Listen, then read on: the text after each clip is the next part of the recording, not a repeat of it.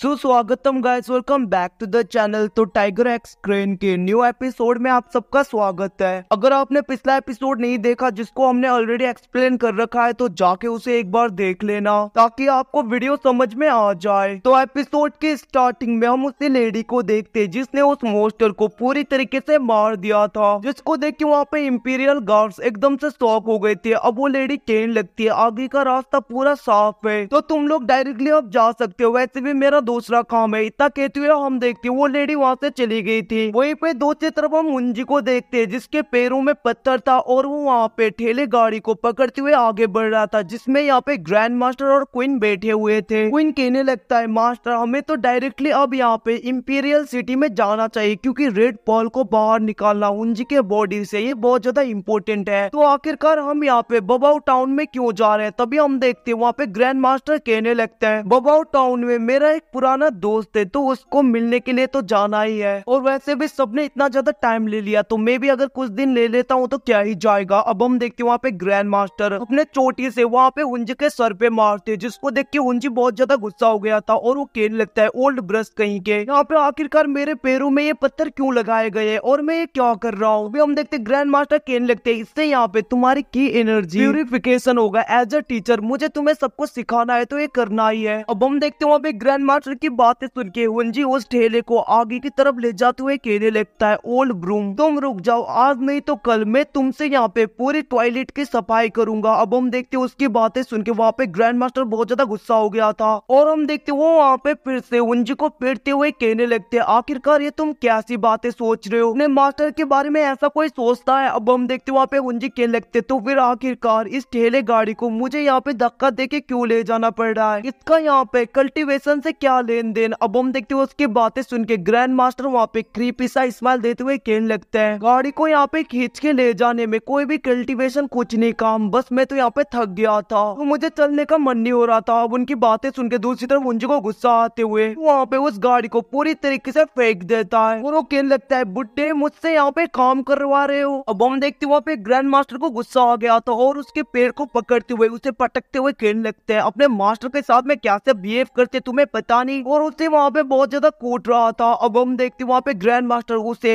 एक जगह पे कैद करके तालिस्मान लगा के आग में जलाने लगते है। इतना ही नहीं, उसे तो वहाँ पे जंगली मोस्टर्स के हाथों पिटवाते हैं और उसे वहाँ पे ठंडे पानी में भी रख देते हैं। इतना ही नहीं, बेचारे हुंज के साथ में तो यहाँ पे नाइंसाफी हो जाता है, क्योंकि उसे पहाड़ चढ़वाने लगते हैं और वो दोनों वहाँ पे बैठ रहे थे। बेचारा हुंजे नीचे गिर जाता है और वो कहने लगता है, कोई मुझे बचा लो बट हम देखते कोई उसके हेल्प नहीं करता। बेचारे का मुँह वहाँ पे पत्थर में टकरा गया था। अब हम देखते जैसे तैसे करके बबाऊ टाउन में पहुँच गए थे मतलब कि बबाऊ सिटी में। अब हम देखते वहाँ पे क्वीन और हुंजी आगे की तरफ़ बढ़ रहे थे, तभी वहाँ पे क्वीन के पास में एक लेटर आता है और वो कहने लगता है, तुमने यहाँ पे जिस पर्सन को ढूँढने के लिए कहा था, उसको हम ढूंढ रहे हैं। बट अभी तक कोई इन्फॉर्मेशन नहीं मिला। अब हम देखते क्वीन की बातें सुन के वहाँ पे हुंजी इमोशनल हो गया था और वो कहने लगता है, मैंने तुम्हारे बारे में कितना बुरा भला सोचा था बट तुम तो यहाँ पे कितने अच्छे निकले। आज से तुम मेरे बेस्ट फ्रेंड हो, मैं यहाँ पे आग से पानी से सबसे लड़ने के लिए तैयार हूँ तुम्हारे लिए। अब हम देखिए उसकी बातें सुन के वहाँ पे दूसरी तरफ़ क्वीन भी चुपचाप आगे की तरफ़ बढ़ने लगता है और उंजी उसके पीछे जा रहा था। अब हम देखते हैं वहाँ पे क्वीन कहने लगता है, सबसे पहले तो हमें यहाँ पे डेमन मास्टर इनको ढूंढना होगा और उनके पास में जाना है, ताकि हम यहाँ पे मैजिकल वेपन को बना सके। क्योंकि वही यहाँ पे पूरे फूलों किंगडम के लिए मैजिकल वेपन बनाते हैं मतलब की मैजिकल ब्रोसेस बट यहाँ पे उनको यहाँ पे मना पाना बहुत ज़्यादा मुश्किल है। ये तो यहाँ पे तुम्हारे ऊपर भर पड़ता है कि तुम उन्हें मना पाते हो या नहीं। अब हम देखते वो लोग वहाँ पे मिंतन के अंदर आ गए थे, जहाँ पे एक सर्वेंट कहने लगती है, पेरी आगे के वाले सीट में बैठी है। अभी हम देखते वहाँ पे कोई कहने लगता है। मैं उन्हें अभी डिस्टर्ब नहीं करना चाहता फाइट खत्म होने के बाद में मैं उनसे मिल लूँगा।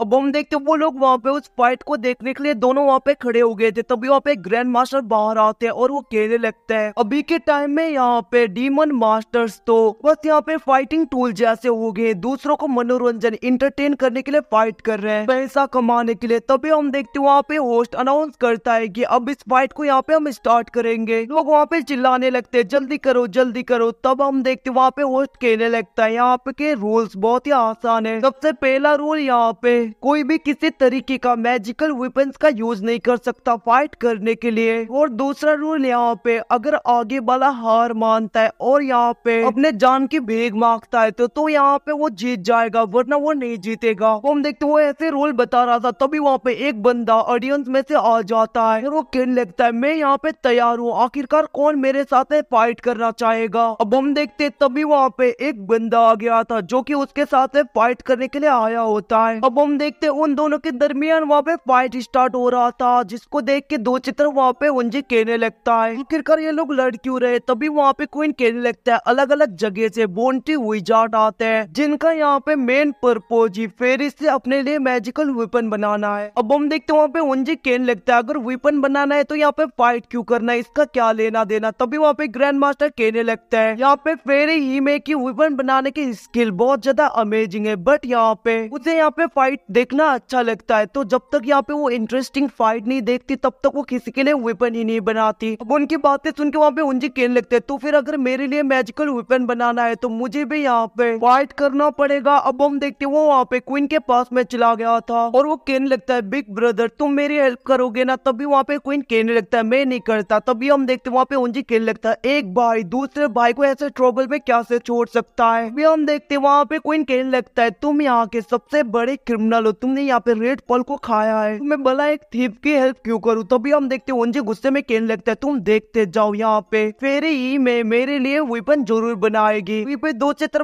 उन दोनों के फाइट को देखते हैं, जहाँ पे उस बंदे ने उस बड़े वाले बंदे को पूरी तरीके से बाँध दिया था बट वहाँ पे उस बड़ा वाला बंदे को देखते जो बहुत ही आसानी से उन रस्सियों को ब्रेक कर लेता है। और हम देखते वो अपने ड्रैगन स्प्रिट का यूज़ करते हुए उसके ऊपर अटैक कर देता है, वो बंदा भी करता है बट वहाँ पे उस बड़े वाले बंदे का अटैक पावरफुल होने की वजह से वो बंदा हार जाता है। जिसको देख के वहाँ पे होस्ट अनाउंस करता है की बड़ा वाला बंदा जीत गया, जिसको देख के उनसे कहने लगता है, कितना ज़्यादा पावरफुल है, आखिरकार इसको मैं क्या से हराऊँगा? तभी वो सोचने लगता है, मैं यहाँ पे क्वीन के आगे खुद नहीं हार सकता मैं जीतूँगा। वहीं पे दो चित्रों में एक बंदे को देखते जो कि यहाँ पे टाइगर श्रॉफ का सस्ता कॉपी लग रहा था जो वहाँ पे एक्शन दिखाने लगा था उसके आगे आके। बट हम देखते वो बड़ा वाला बंदा एक ही पंच में उसे ढेर कर देता है। अब हम देखते ऐसे वो वहाँ पे बहुत ज़्यादा लोगों को हराता जाता है। देखिए उनजी कहने लगता है मैं नहीं जीत पाऊँगा। तभी हम देखते वहाँ पे एक बच्चा आ गया था जो की यहाँ पे उनजी की उम्र का था। इसको देख के पता नहीं गाजी लड़का या लड़की है? खुद कंफ्यूज हो गया। अब हम देखते वो वहाँ पे उस बड़े वाले को चैलेंज करता है। अब वहाँ पे वो बड़ा वाला बंदा उसके ऊपर अटैक करता है बट हम देखते वो बंदा बस एक ही अटैक में उस बड़े वाले बंदे को ढेर कर दिया था, जिसको देख के वहाँ पे कोइन कहने लगता। है इतना पावरफुल मैजिक और इसके पास में ये मैजिक कहाँ से आया? कहीं पे ये यहाँ पे जाओ फैमिली से तो नहीं। तभी वहाँ पे उंजी भी कहने लगता है, यहाँ पे छत तो पूरी तरीके से ठीक है। आखिरकार वो बड़ा वाला पत्थर आया कहाँ से? अब हम देखते वो ये सब कुछ सोच रहा था, तभी वहाँ पे ग्रैंड मास्टर उसे पकड़ के मैदान में फेंक देते हैं। तभी वहाँ पे उंजी गुस्से में कहने लगता है, किसने मुझे फेंका? किसने मुझे हर्ट क्या बेवकूफ़ बुढ़े भी हम देखते हैं उनसे जैसे ही ऊपर देखता है, उसके आगे वही बंदा होता है। तो गैस इसके साथ एपिसोड खत्म। आज यहाँ पे दो या तीन सीरीज़ में एक्सप्लेन करूँगा न्यू तो उसको भी सपोर्ट कर देना। थैंक यू वॉचिंग बाबा सी अगेन